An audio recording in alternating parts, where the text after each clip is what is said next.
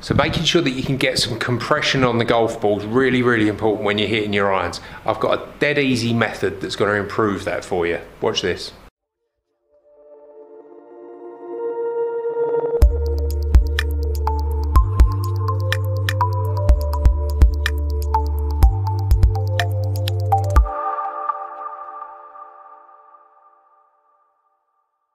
So compression in the golf ball, how do you get it? What does it look like? Right, so a lot of people are going to struggle with this. This is a popular subject. So how do I get compression on the golf ball? I've got very, very simple, probably the simplest method of making sure that you can do it.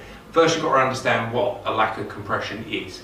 So if the club, if you're a person that delivers the club in a manner that as they deliver the club like this, you get a little bit scoopy on the ball, flicky up, then as the club delivers, you're going to start slowing down in that position, getting into here, delivering it and then starting to get the ball working left on a high launch angle, working left. You're going to see shots that spin a lot, but go left and you're going to lose distance. We all know that you want to try and get a bit of compression, especially with the, uh, the irons, that you want to be hitting down on the ball, squeezing it to get the most out of it and get a nice consistent shot.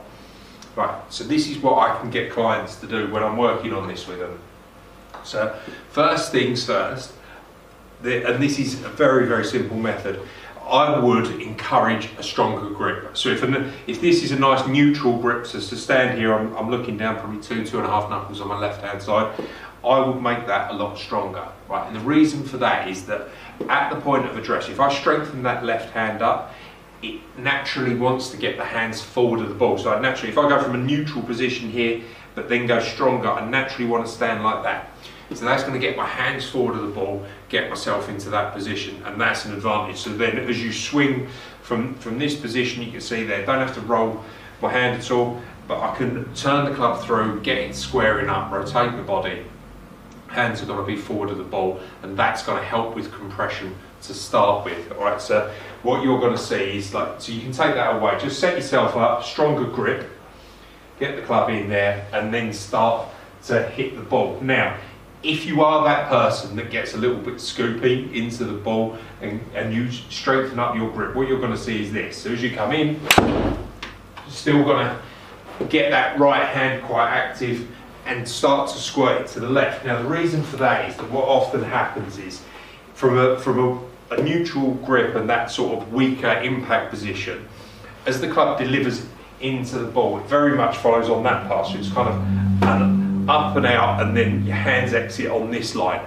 And what you've got to get is to a point where as you swing through that your hands are more staying on the hand path. So as I swing through here, much, much lower with my hands here, level with my belt. So I have that feeling through the ball. So stronger grip, set myself up and feel like as I'm coming through, I'm getting the club to exit left and I'm trying to keep my hands as low as possible to stay there. So get that feeling and then you're going to get here. So at the exit point, at sort of a three quarter follow through, you can see there that the club's a long way left of my body. And that's what you want to be. So rather than finish and get up here so that the hands are in front of your body, much lower and in there. So then start hitting a few shots like that.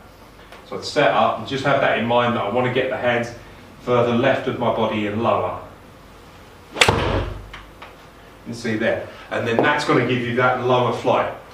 Over time, as you become better at it, that's a good feeling, but you're still going to get the club or the ball working to the left a little bit and that's purely because the grip that you've put in is too strong and then what you need to do is just get that feeling of the club exiting left staying on a better hand path getting on that way and then just bring your hands back to a neutral position a slightly more comfortable position and start to do that and introduce a little bit of forearm roll as you're coming through to help square the club face that's then going to start to straighten up the shots if you start to see them going left from that stronger grip position.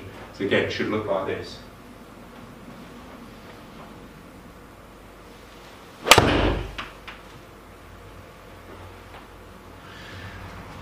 And that's more what you're going for.